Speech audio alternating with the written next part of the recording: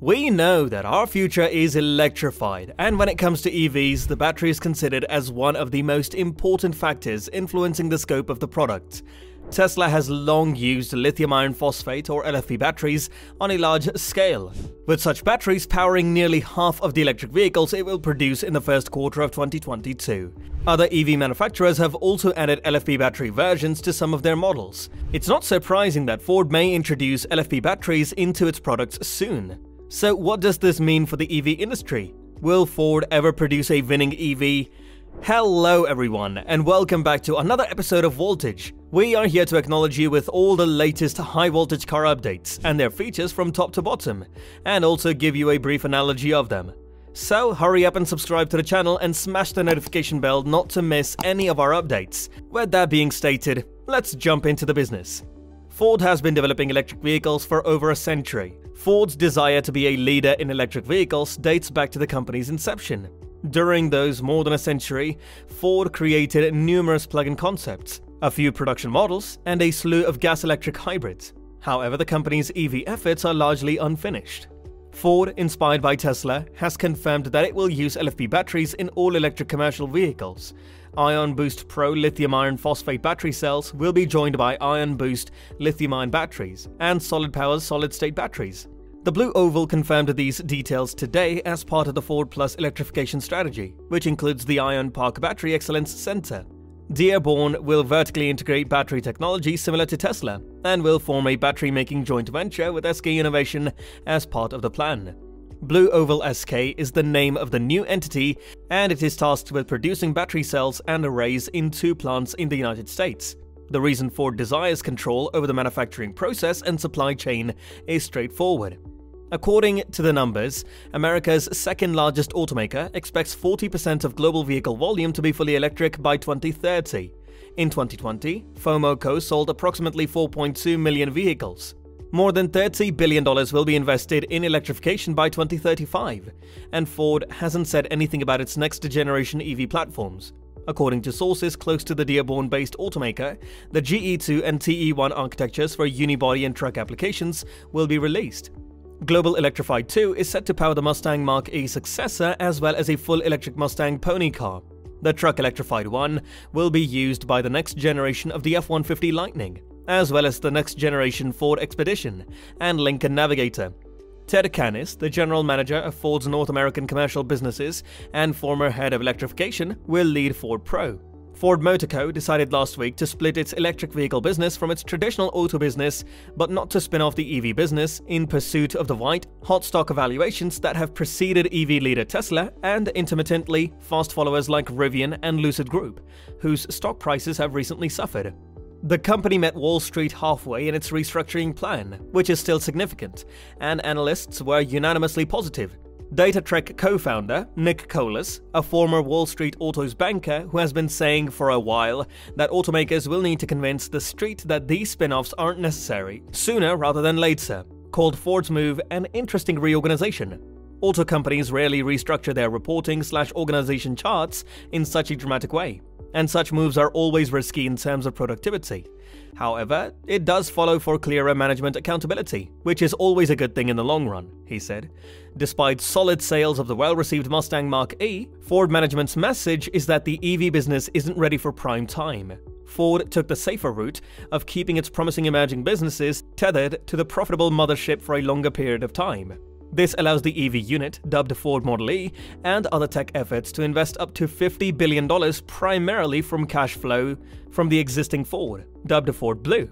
That cash flow was $40 billion over the last two years, indicating that Model E will not need to rely on bond or stock markets to fund future growth.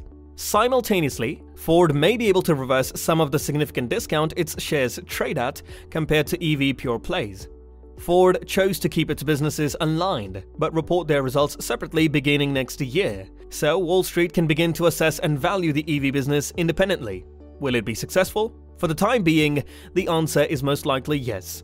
Ford executives emphasized the operational and financial benefits of keeping the companies together. Farley emphasized the combined company's ability to finance its growth strategy. Without access to capital markets, while aides detailed plans to share costs between the EV and gasoline powered vehicle businesses, cut costs in the traditional units, and get both sides of the business to work together to boost profitability faster than they likely could on their own in a press briefing. The plan's centerpiece is cut up to $3 billion in annual costs by 2026, with major targets including Ford's advertising budget, which Statista estimates at $2 billion in 2022 for just US spending, and the $4 billion a year cost of warranties, which Ford president Kumar Galhotra says will be addressed by improving Ford vehicle quality.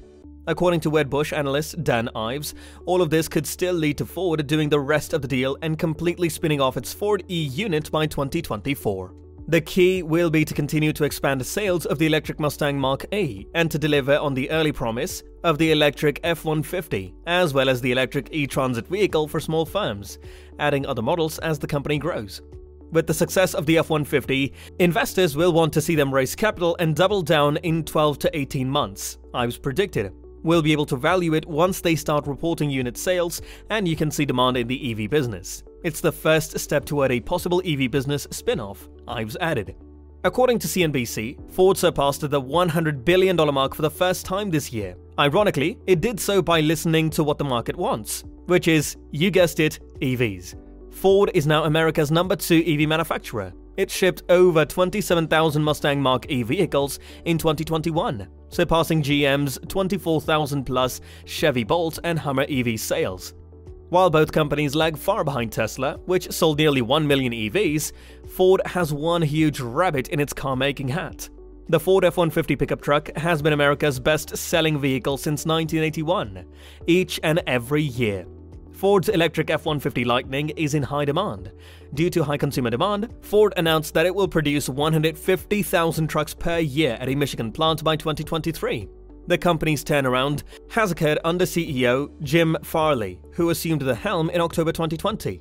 If Ford continues to rise in popularity, we'd like to hear Farley say, If I had asked people what they wanted, they would have said electric F-150s. And we came through. Ford's inclusion of LFP in other high-energy dense battery chemistries would not be surprising. It's simply a type of lithium-ion cathode chemistry that has advantages and disadvantages and can be used successfully in some products. An intriguing development, unrelated to Ford, is the recent announcement of new LFP battery gigafactory projects in North America. The rumored upcoming CATL investment in Mexico is one such project. CATL is most likely the world's largest LFP battery manufacturer, though it also produces other types of batteries. The Mach-E model is manufactured in Mexico by Ford. Another is the Gotion High-Tech project in the United States, which has an agreement with an unnamed manufacturer to produce at least 200 gigawatt hours of LFP batteries between 2023 and 2028. Last but not least, the Ford Plus strategy includes Ford Pro, a vehicle services and distribution company aimed at increasing uptime and lowering ownership costs among government and commercial customers. Still watching? We knew you'd love our video. Well, we'd be even happier if you could just hit that like button. Coming back to the scenario, what do we think about Ford's progress in the EV space? Ford vehicles of the future are poised to deliver excellent economy, smart technology, modern design, and thoughtful amenities. The future looks bright with these vehicles. And with that being said, it's time to end our video. Which EV brand besides Tesla do you think is performing well in the market? Are you bullish about the EV industry? Let us know in the comments and make sure to subscribe to the channel for more amazing videos like this. We'll see you in the next video.